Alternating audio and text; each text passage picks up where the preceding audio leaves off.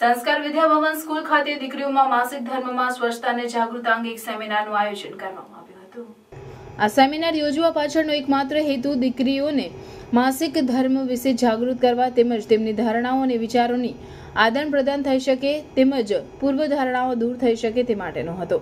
આ સેમિનાર અંતર્ગત દીકરીઓને મુક્ત વાતાવરણ પૂરું પાડવાનો અને સ્વચ્છતાને જાગૃતતા કેળવવાનો પણ હેતુ હતો.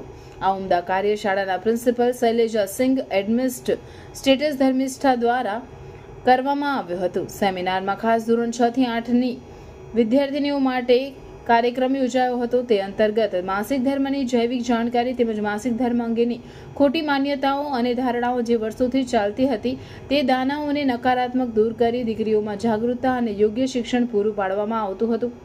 ધર્મનું ધ્યાન રાખવું, સ્વચ્છતા કેવી રીતે રાખવી, કેવી રીતે પોતાનું ધ્યાન રાખવું, રોજ પર્યાવરણનું જતન કેવી રીતે કરવું, જેથી પર્યાવરણ તેમજ દીકરીઓનો બીમારીઓથી બચાવ થઈ શકે તે અંગે ઈવા હોસ્પિટલના ડોક્ટર પ્રગતિ બારોટ દ્વારા માર્ગદર્શન પૂરું પાડવામાં આવ્યું હતું.